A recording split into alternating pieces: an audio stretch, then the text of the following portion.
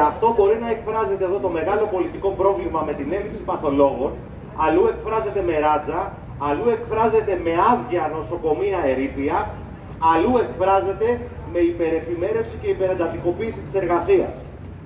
Άρα, αυτό που εκ μέρους της Ομοσπονδίας θέλουμε να σας πούμε είναι ότι αυτές οι αιστείες αντίστασης πρέπει να πολλαπλασιαστούν και να έχουν νίκες. Και νίκη τώρα σημαίνει δύο πράγματα.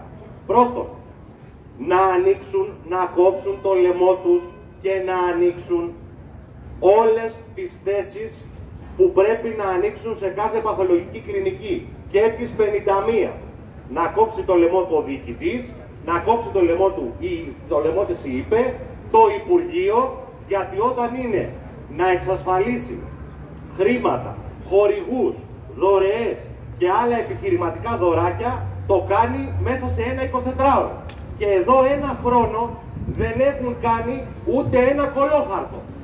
Το δεύτερο, πρέπει να γίνει το εξής απλό πράγμα.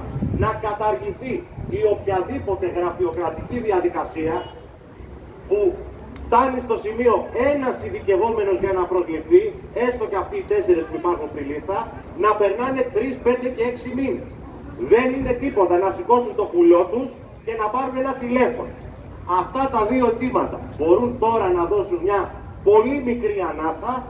Αυτά νομίζουμε ότι πρέπει να παλέψουμε και να απαιτήσουμε και ταυτόχρονα να μην σταματήσουμε γιατί οι ανάγκες των ασθενών και των υγειονομικών είναι πολύ περισσότερες το 2023 από το να συζητάμε πράγματα που οποιοδήποτε είχε την πολιτική βούληση θα τα είχε λήξει μέσα σε μία μέρα. Καλό αγώνα και καλή δύναμη.